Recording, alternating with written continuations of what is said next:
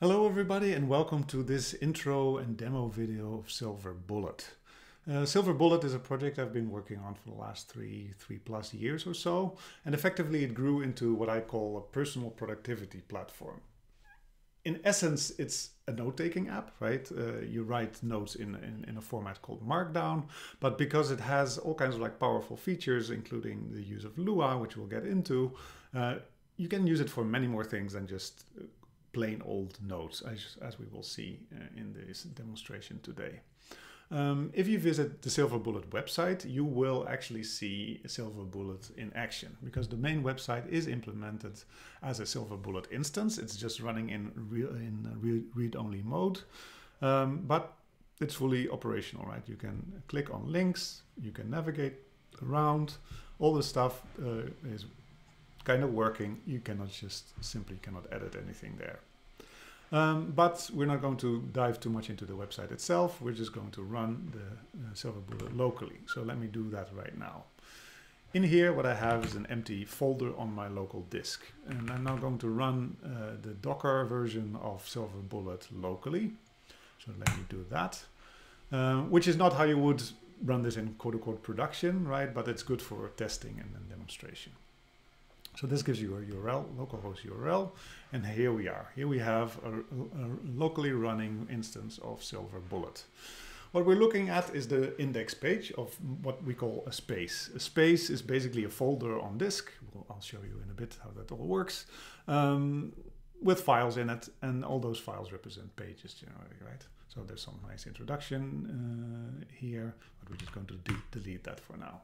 So at the center of this minimalistic uh, interface, you have a markdown editor. This is just like you can type text here, right? This is text. I'm saying hello. Um, this looks like plain text, but you can put in markdown codes like double asterisks around text. You can see that that will make the text bold. The moment you move your cursor outside of this um, uh, these markup codes, they will kind of disappear and it will look a little bit like what you see is what you get, right? The WYSIWYG type editor, while in reality, like all the codes are still there, right? And if you select it, or if you alt click into these uh, places, you can see what is the code actually behind it. Um, you can type all the markdown codes by hand. You can also use keyboard shortcuts. You can say like, hey, hello, I want to make it italic. So you use Command I. Um, there's also slash commands for common things. You can say this should really be a header. And then you say, okay, header one, that will make it a top level header or level three will make it a third level header. Um, this is a task can turn it into a task. These are all convenience functions, right? In the end, you can just type all these things by hand. It's just a little bit more convenient to, to use keyboard shortcuts and to use um, slash commands, but it's all there. So at its core, it's like a nice and convenient Markdown editor. In here, you can also create links. Like if I would like to create a link to the SilverBullet website, for instance, I just copy that. I pick the text that I want to turn into a link and I paste the link on top. And now it's a link that if you click it, it, it will visit there as you would expect. And what makes this a little bit more interesting that you can create links also inside of your space, like your whole space will not be a single note, right, a single page. Um, so you can say like another page, right? So now we created a link to another page. That link will initially appear in kind of orangey brown, which means that the page doesn't yet exist. The moment that you click it, the page will be created. So now we created the page, the URL changes, and it's like, these are some more notes, right? What you will notice is that at the bottom you see link, linked mentions. And linked mentions are basically all the incoming links. So all the other pages in your space, in this case there's just one, that are linking to this particular page, which allow you to kind of ni nicely navigate through your space as you go, right?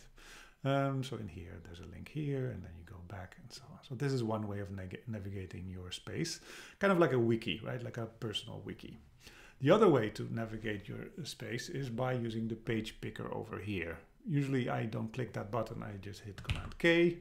Uh, and here in here I can see all the pages that exist in my space.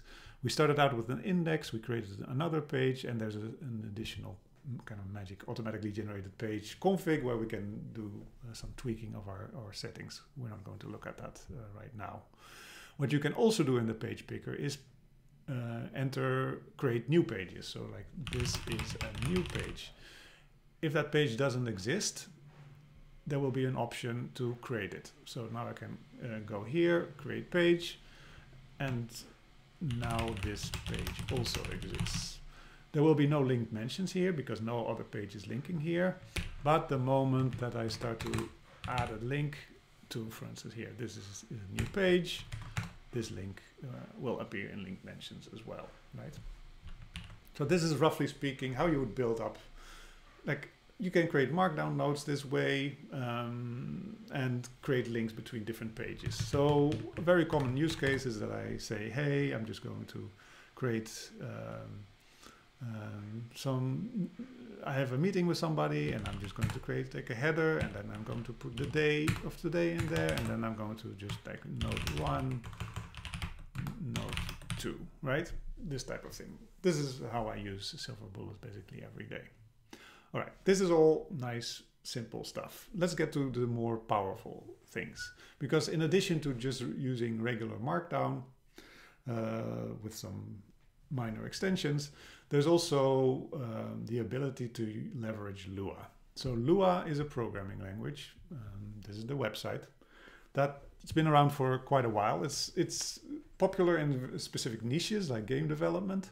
Um, but what makes it really nice is that it's a very small language and it's very easy to learn and it somehow really naturally fits into SilverBullet. So this SilverBullet has a custom implementation of Lua called Space Lua because it's Lua used in your SilverBullet space. And the way you use it, or one of the ways that you can use it, is uh, using this notation. So dollar sign curly brace, and then inside there you can put Lua expressions, for instance, 10 plus 12, right? And the moment that you move your cursor out of this um, Lua directive, let's say, it will live preview into the evaluation of that Lua expression. So 10 plus 2 is 12. Wow, we have just created a calculator. That's amazing. Um, of course, you can do more interesting with this, right? So one of the things you can do, and it kind of gives you a, like an extension mechanism on top of Markdown, is to create custom widgets. So one of the widgets that kind of ships with SilverBullet, but it is, it is implemented in, in Space Lua, is the YouTube embed uh, widget. So if I take a YouTube video, for instance, the old version of this particular one, I can do embed.youtube, paste in the link there, and then that live previews into the inline embedding of that video, right? Um, the implementation of this is in Lua. If you command click on that, you can actually see what it looks like, YouTube widget, couple of lines of Lua code and implementation done. We're not going to dive into how to do all this very specifically, but just to give you a sense of what's behind all this, right? All right, so that's embedding uh, widgets. That's cool. Let's look at something um, more practical, let's say. So what I would like to do is start to track books that I'm reading. So I'm going to add a book section here. Let's say that I'm uh, reading currently the books Harry Potter and I Robot right? Um, Harry Potter, I'm just going to take some notes on this is a nice book. And then I robot. Let me just create, show you another way of creating these pages. So as, I don't know if I mentioned that, but like the moment that you create a new page. If you link to a page that does not yet exist, it will also appear in this page picker. So here at the bottom, you will now see iRobot as a kind of suggestion.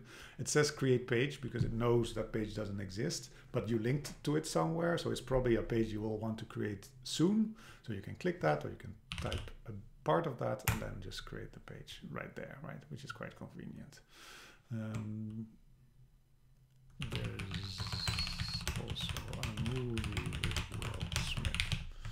all right, so now we created two links to books. That's all very nice.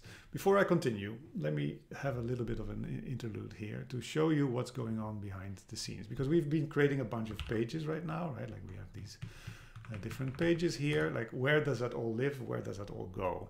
So let me go back to the terminal and just kill the server here. So we can have a look um, at what's happened on the file system. So we started out with an empty folder, right? Um, but basically as we were progressing, it just created pages on the fly with as.mark.md files, right? So these are just text files on disk. There's no magic here, like it's just plain markdown files on a disk, which also means that you can do a git, put a git repo behind this and push these things to do versioning. You can do all kinds of things. You can do random transformations on this. It's just folders on in a on on disk, right? Which is kind of nice and clean. What you will notice if you look um, at my background is like, so I just killed the server. So the server is not running right now. Our bar now turns out to be yellow. So what's going on here? Well, it lost connection with the server, right? Because the server is no longer running. In most web apps, that would mean, okay, end of story, you can have to reconnect to do anything. Not so much in SilverBullet. Because in SilverBullet, is uh, it's uh, local first, which means that it keeps a complete copy of your entire space locally in your browser persistently, right? That also means that I can reload this page, I can close the tab, I can create it new, even if the server is not running or I have no internet connection, and have full access to my nodes. Everything here works. I can create new pages, I can navigate between them, uh, the, the linked mentions are there, uh, later we'll get to other fancy stuff. Everything still works, even though, and yeah, I can make edits here, right? And then reload them. The edits are still there, even though I'm offline. Um, again, offline first, which is extremely valuable, especially if you use this, for instance, on a mobile phone. And this works perfectly fine on, a mobile phone. You can also install this as a PWA, which basically gives you like a dock or like Windows icon somewhere so you can launch this thing wherever you go it looks and feels like an application then and you can uh, fully offline capable the moment that I start my server again so let me do that here if we wait a second files will sync back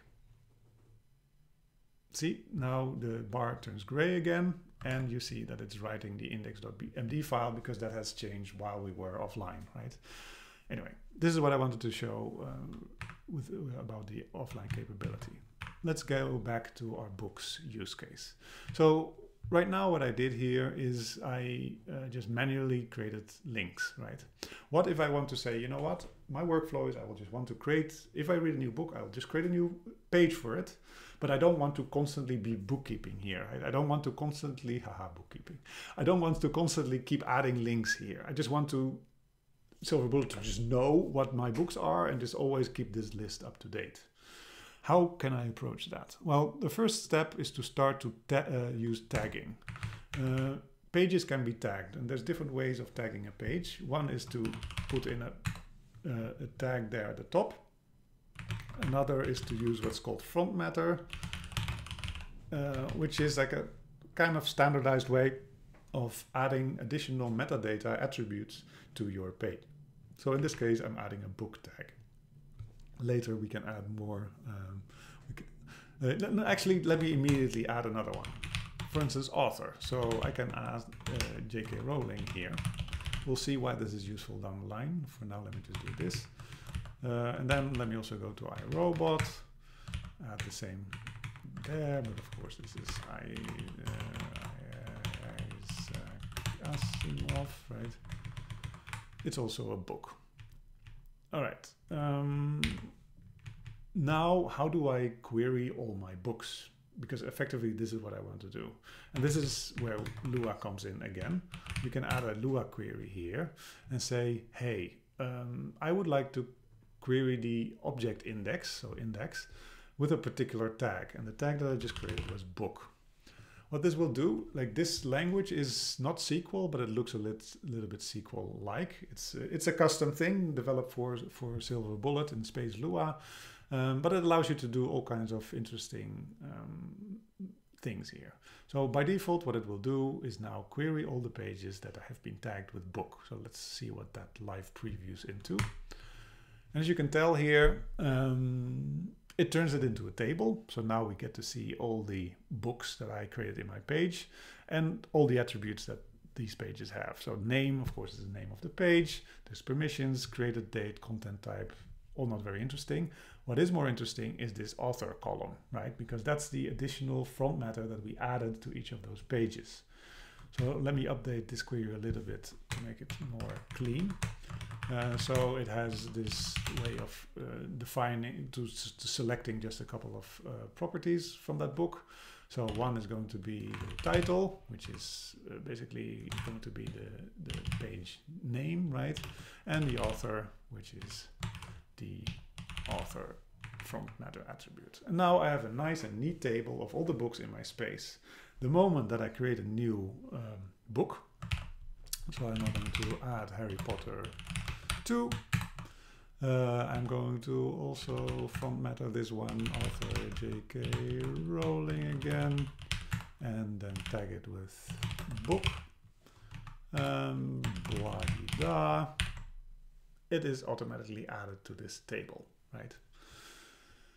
All right, that's nice, but now I have a table here that's, I mean, it looks okay, but I kind of want to be able to go there, right? Like there's no linking here. So what I would actually uh, like to have is a list of all the books that are just page links, right? Like a, a bulleted list of all the books that I have in my space maybe organized by the date that that page was last modified. So I have the, the most recently active books, let's say, at least where I'm keeping I'm keeping notes um, at, uh, sorted at the top. So how do we do that? Um, what we can do here is wrap this in uh, a thing called template iterator. Uh, and what we're going to do is basically for each of the books in this particular query, I would like to render a particular template. And there's a bunch of templates built in. Uh, we're just going to use the page item one for now. Um, and what this will do, I can skip this part. It will iterate, it will, uh, I, I, can show you the implementation actually. Well, let's not do that, it's too, too much detail. This is what it renders as. So now uh, for every one of those books, it created a list item and those are clickable. So I can now go here and just navigate there right away, right? And that list automatically updates. I can create custom templates. So if I want to do more custom formatting, ah, this is the thing I wanted to add, is order by last modified desc. So now I'm ordering all these books uh, by ordered by the last modified date and putting the most recently updated at the top, right? And indeed, the Harry Potter page that we just created now appears at the top. And this list will automatically be updated. What else can you query? Lots of things. So now we are querying uh, tags. You can query all pages in your space. You can query the tasks, for instance. Um, uh, let me not let me just do this from scratch. So like query, I can query task. And this will give me a list of all the tasks in my space. And there's some stuff there that you may not recognize, but you will see this particular one.